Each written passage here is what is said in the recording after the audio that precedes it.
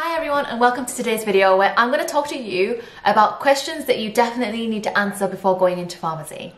So these are questions that I wish that I had like asked myself or that somebody else had asked me and I just wanted to share it with you guys. So the first question is, do you know how to handle anxiety? So when you are a pharmacist, you'll be the one signing things off to say like, finally, like releasing, like, yes, okay, I'm happy with this and this can go to the patient. And doctors have a lot of trust in pharmacists. Usually they won't even double check your dose. Like they'll just be like, okay, the pharmacist can check the dose and that's fine. And they'll just believe you and go by what you're saying. So can you handle that anxiety? Also, if there are, like if there are any mistakes made, like that comes back to the pharmacist and not necessarily the doctor. And that's simply because we were the last step and we should have caught any problems. So can you handle that anxiety? Can you handle that responsibility? And can you also just go home and switch off knowing that you're holding that responsibility on your shoulders? So for this, I didn't know about it, but once I became a pharmacist, I became aware, obviously. Kind of dealt with it in a way that it got better as time went on. So the more time that goes by, the more you know about the drugs and the more you know about conditions. And so it becomes a lot easier. So that's how I guess I deal with anxiety. I still feel anxious about people like finding my mistakes if I've made some, because I definitely make some on the ward. That part of it is still there. And also whenever people message me from work, I do feel that anxiety like, oh, why are they messaging me? Like, what did I miss out? Like, what did I do wrong? So can you handle that? The second question is, are you sure you want to do pharmacy and not medicine? So I have never actually wanted to do medicine. I've not always wanted to do pharmacy, but I've just never wanted to do medicine, if that makes sense. But do you even know the difference? And will you be able to make that difference even at work? So pharmacy and medicine, of course, they overlap and there's many things that, there's kind of, it's kind of blurred lines really, but you also need to know what those lines are. You shouldn't be overstepping your boundaries. You shouldn't be doing things out of your competence. Will you know those boundaries? That's another thing I think is good to consider. Also, as a pharmacist, you kind of need to know as much as a doctor, but you need to know when to step back and you need to know when to offer the information that's important to the doctors. So yeah, like I said, they do overlap but they're not the same. So make sure that you're aware of the differences. The third thing is, are you aware of the salary? So I was not, and now I am. And if you want to know what the salary is as a junior pharmacist, then check out my video and I'll put it in the description box below. The fourth question you should ask yourself is, do you want to find the answer or are you happy being given the answer? So a lot of the times the doctors have to investigate and they have to figure out what is wrong with the patient and diagnose the patient. Pharmacists don't necessarily do that. At my stage, I definitely don't. Maybe like as an independent prescriber, I might be, but right now I will not diagnose a patient. So oftentimes we'll, we'll be given a diagnosis by the doctor. So the doctor will say, we're diagnosing this patient with, for example, community-acquired pneumonia. Are you happy? Like, not are you happy, but that, that, that, that will be it. And of course you can challenge and that is part of our jobs as well, but you won't be actively depended on to find a diagnosis for the patient. So if you're naturally inquisitive and you want to find out what's wrong with the patient and you want to investigate, then maybe medicine is more right for you. Whereas if you want the diagnosis given, which is what I prefer, and then you're happy to give the best treatments according to that diagnosis, then pharmacy is the right path for you. The fifth question you should ask yourself is, can you challenge other people? So a lot to do with our profession is challenging people. So doctors will prescribe things, consultants will prescribe things, nurses will say things, and a lot of the time we have to be like, hmm, like a nurse might say, I've ordered this drug, and you might have to say, well, it was ordered for the patient yesterday, we dispensed it, so it's probably in the cupboard you know? Or a doctor might say, we're gonna go by this dose, and a consultant might say, we're gonna order this medication, and it might not be in line with the formulary, it might not be available from pharmacy, or you might disagree with the dose that they're going for, or you might disagree with the frequency. And there's so many things on a day-to-day -day basis where you have to actively challenge other healthcare professionals. So would you be comfortable doing that? And with this, again, it comes with experience. So I definitely, when I first started work, I was just like mute, you know, quiet it would take a lot for me to go up to someone and be like, um, I'm not sure that the dose is correct. But as you go on, the more confident you get, the more that you know. So I think that comes with experience. So yeah, it doesn't necessarily matter if you can't quite see yourself doing that right now. The sixth question is, are you happy checking someone else's work? So a lot of our day-to-day job is checking what the doctors have prescribed, is checking whether the nurses have given the medication, is checking whether your ward technicians have done a drug history correctly. So a lot of it involves checking. So are you happy to check someone else's work?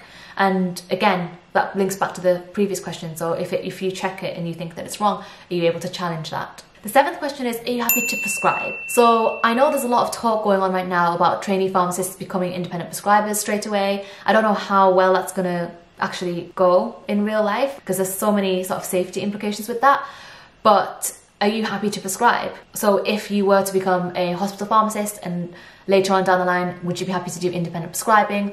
Or as a trainee pharmacist who's like recently qualified, when this whole independent prescribing thing comes into place, would you be happy to do that? Yeah, would you be happy to say, okay, I want to give this dose for this patient? Like, as much as we're also checking, I think the more the role of a pharmacist evolves, we're also prescribing as well. So make sure you'll be happy to do that. The eighth question I want you to ask yourself is, are you versatile? So there's so many different aspects of pharmacy. Like there's different branches of pharmacy that you can go into. Like also the main ones are community hospital and industry, right?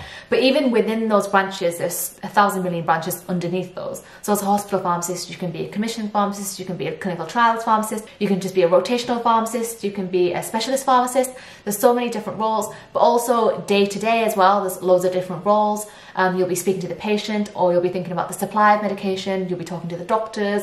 You'll be talking to the nurses and you'll be talking to patients next of kin. So within the job, there's also loads of little things involved. So are you versatile enough? Are you someone who can adapt to situations? And pharmacy is a constantly evolving, constantly changing career. So would you be able to adapt yourself with alongside that change and be versatile? The ninth question you should ask yourself is, is recognition important to you? Now, I'm not saying that pharmacists don't get recognized. I think that as more time goes on, people do appreciate the work that we do. And the more that you work with doctors and nurses and the more that you show that you can be helpful, the role is actually appreciated. But you're not going to get worldwide recognition. Like, even in the news lately, you'll just hear when they talk about healthcare professionals, they'll just be like doctors and nurses. They won't necessarily mention pharmacists. And I'm not complaining because there's loads of other healthcare professionals that aren't mentioned either. But what I'm saying is, you're not going to be the first person that people think of. And so, if that recognition is important to you, then pharmacy might not be the right career. I don't really mind because I feel like as long as I recognize what I do, and as long as the patients that I meet recognize what I do, and as long as my friends at work recognize what I do, then I don't really care. But yeah, it's not your first point of call to get recognition and status. The final question you should ask yourself is, will you be ready for all of the nitty gritty questions that pharmacists get basically? So we'll be asked about the supply of medications, we'll be asked about the correct name of medications, the correct dose, the correct frequency, the correct route, um, whether it can be supplied or not. And also we'll have to do, we have to do like controlled drug audits, and you have to do just general like audits in general to see if there's any service improvement that can be made. You'll have to speak to patients and their relatives and you know there's loads of little little bit itty bitty things that you'll have to do as a pharmacist. Would you be happy doing those things? I personally am fine doing those things. I'm happy to check a patient's locker. I'm happy to check each tablet and each box of a medication and things like that. But some people don't have the patience for that. So if you're one of those people, then again, pharmacy might not be the right route for you. That being said, I think that, you know, the job is completely different to what you're thinking of when you read a book. So when I was younger and trying to decide on a career, I would go to the careers library and just open a book and be like, yeah, that sounds about right. And I thought pharmacy was all about spelling and I just considered it to be like a spelling job and I was like, I'm good at spelling, I'll be able to spell a medication. And that's why I thought I saw myself as being suitable as a pharmacist, but it's completely different than that. What you read as a pharmacist role and what you actually experience as a pharmacist role might be completely different. So I hope that you can answer those questions. And don't worry, if you're not quite sure about the answers to the questions, then that doesn't mean you're not right to be a pharmacist. I think that it's a really good job and I do enjoy it. And obviously there are days when I don't enjoy it but there are many days that I do. So don't be disheartened if you're answering no to quite a few of the questions. Some of it will come with experience, but definitely think hard and definitely answer the questions and really think about whether pharmacy is right for you before making that decision. And I know it's hard because I've done it too Hopefully now with videos like this, you'll be a lot more informed and you'll be able to make better decisions. So I hope that you enjoyed this video and I hope that you enjoy the new lighting. My boyfriend got me a light for Christmas and it's definitely made such a difference to my videos. I'm really happy and grateful to him. But yes, I hope that you enjoyed the video and I'll see you in the next one.